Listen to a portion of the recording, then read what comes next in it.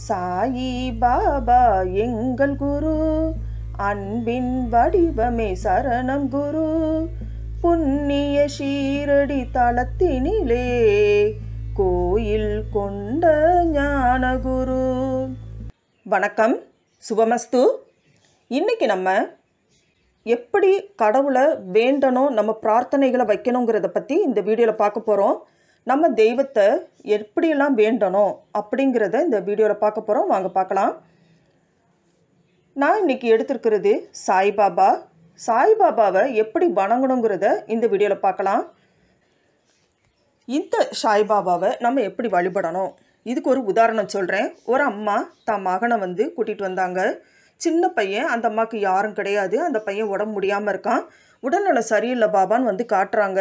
அந்த பாபா வந்து நான் இவர் இவனுக்கு இந்த சின்ன பிள்ளைக்கு குணப்படுத்தி அனுப்பி வைக்கிறாங்க.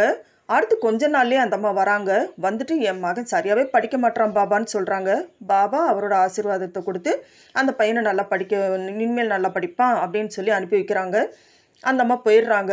அடுத்து மறுபடியும் கொஞ்ச நாளில் வராங்க அந்த அம்மா. பாபா என் மகன் உங்கள் ஆசீர்வாதத்தால் நல்லா படித்து வந்துட்டான். ஆனால் நல்ல வேலை கிடைக்கல.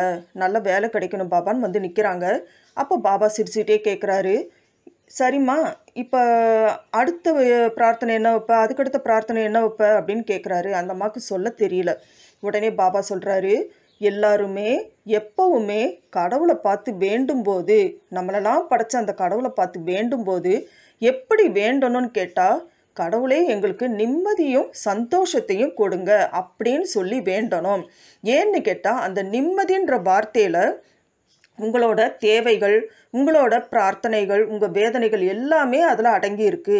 ஸோ அந்த நிம்மதியை எங்களுக்கு தாங்க அப்படின்னும் போது அதில் ஆரோக்கியம் எல்லாமே எல்லா பதினாலு வகையான பேர்கள் ஐஸ்வர்யங்கள் எல்லாமே அதில் அடங்கியிருக்கு. ஸோ நீங்கள் வந்து எப்படி வேண்டணும்னா நிம்மதியை கொடுங்க அப்படின்னு வேண்டணும். அந்த நிம்மதி கிடச்சிருச்சுன்னா உங்களுக்கு வாழ்க்கையில் ஆட்டோமேட்டிக்காக சந்தோஷம் கிடைக்கும். ஸோ பாபா சொல்கிறாரு நிம்மதியும் சந்தோஷத்தையும் எங்களுக்கு கொடுங்க அப்படின்னு தான் வேண்டணும்னு நமக்கு பாபா அருளுரைக்கிறாரு.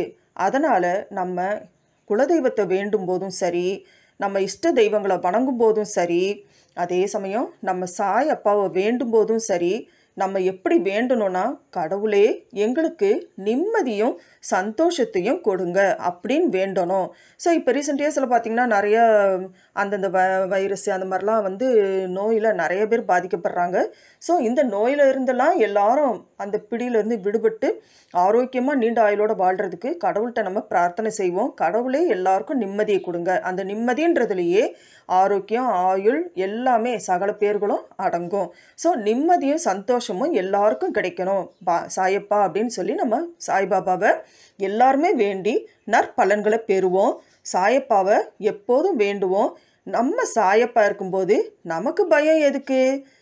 இப்போ இந்த வீடியோவை பார்த்துருப்பீங்க. இந்த வீடியோவில் எல்லாமே இந்த பாயிண்ட்ஸ் எல்லாம் உங்கள் எல்லாருக்குமே ரொம்ப பிடிச்சிருக்கும்னு நம்புகிறேன் இந்த வீடியோ உங்களுக்கு பிடிச்சிருந்ததுன்னா லைக் பண்ணுங்கள் உங்கள் ஃப்ரெண்ட்ஸ் அண்ட் ரிலேட்டிவ்ஸ்க்கு சொல்லி ஷேர் பண்ணுங்கள் சப்ஸ்கிரைப் பண்ணுங்கள் பக்கத்தில் இருக்கக்கூடிய பெல் ஐக்கானை அழுத்துங்க.